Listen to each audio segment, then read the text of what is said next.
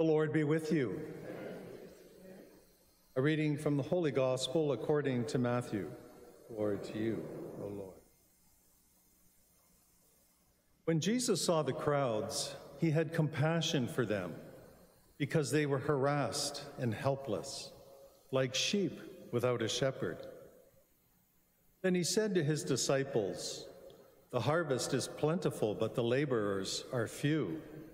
Therefore, ask the Lord of the harvest to send out laborers into his harvest. Then Jesus summoned his twelve disciples and gave them authority over unclean spirits to cast them out and to cure every disease and every sickness. These are the names of the twelve apostles. First, Simon, also known as Peter, and his brother Andrew, James, son of Zebedee, and his brother John, Philip and Bartholomew, Thomas and Matthew the tax collector, James, son of Alphaeus, and Thaddeus, Simon the Cananaean, and Judas Iscariot, the one who betrayed him. These twelve Jesus sent out with the following instructions Go nowhere among the Gentiles and enter no town of the Samaritans, but go rather to the lost sheep of the house of Israel. As you go, proclaim the good news. The kingdom of heaven has come near. Cure the sick, raise the dead, cleanse the lepers, cast out demons. You received without payment, give without payment. The Gospel of the Lord.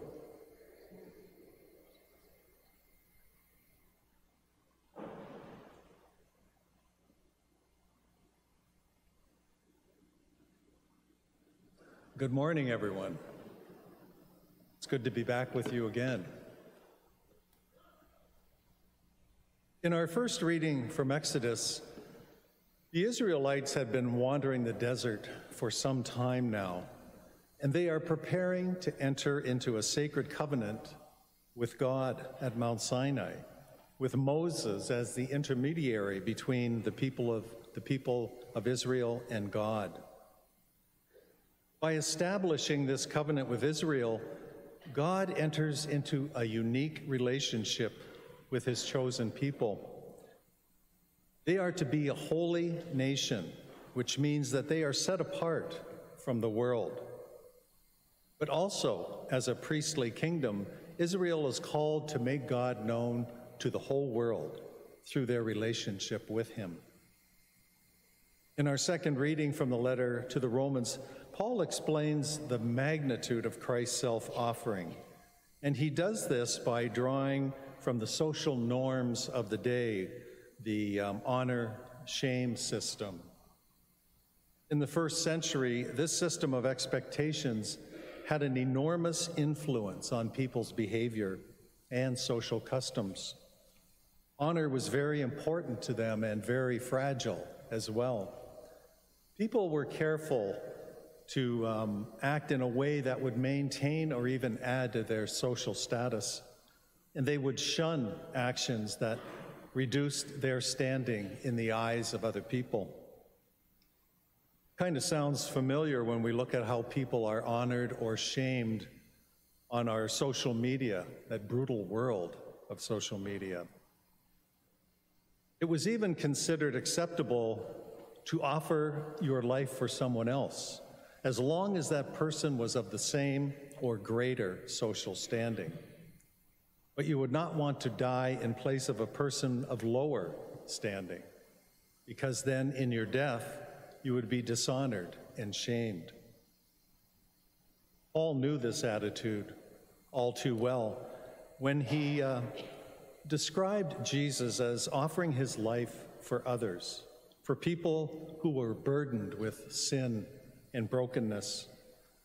And so he took them on their shame while at the same time elevating them and us to new life. If we want to follow the example of Jesus, we are to honor those whom we serve. We must live among them, if you will, as Jesus did when he took on human flesh. We must remember that ministry is not a question of serving people from on high, while those we serve remain below us in lesser honor and stature.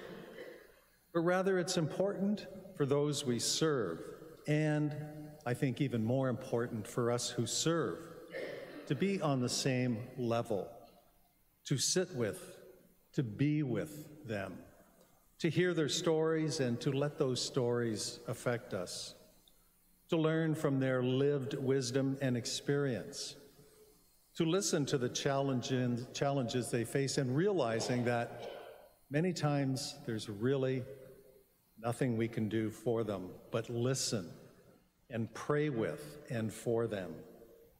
We can bring so much healing to others by that simple act of sacred listening. Our gospel from Matthew tells us today when Jesus saw the crowds, he had compassion for them because they were harassed and helpless, like sheep without a shepherd. He is so moved by the plight of the people that he sends out his 12 disciples to, and empowers them to bring his healing presence to the sick and the suffering around them. Pope Francis explains that the more we serve, the more we are aware of God's presence, especially when we serve those who cannot give anything in return, the poor we recall the words of Jesus today You received without payment, then go and give without payment. Through our baptism, we are anointed to be priests, prophets, and kings. Priestly in our lives of prayer and service, prophets by announcing the word of God, and kings by leading with integrity and with mercy. Jesus pleads with us to go and proclaim the good news to the kingdom. Go and cure the sick. Go and touch other people. Heal. Go and make peace. Go and make visible His love and compassion to others. We are to put aside our honor, our status, our pride, our security, and our fears, and we are to trust in Him, the one whose faithfulness to us is limitless. Who are the harassed and the helpless around us? Who are those ones who are cast aside by society? Who are the ones that are alone and forgotten? Who are the ones that we are afraid to help? They are all around us, and it is not enough to just look at them with pity and beat our breasts. We must encounter them with the love of Christ. And we don't have to go out and minister to the world by ourselves. We don't have to reinvent the wheel. We can partner with others right here in our parish, in our family of parishes.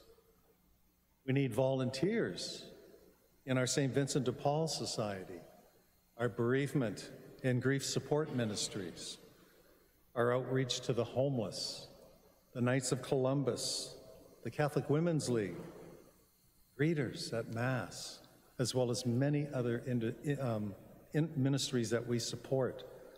And we can also partner with other organizations in our community like Windsor Right to Life and 40 Days for Life that needs people to be visible, praying for the unborn and the elderly. It's up to us to decide to inhabit a certain place, if you will, in this world, a place where others can connect with God through the words we speak, and more importantly, through our example of Christian comfort. We must choose to take responsibility for making God present in our world today. Who else is going to do this but us?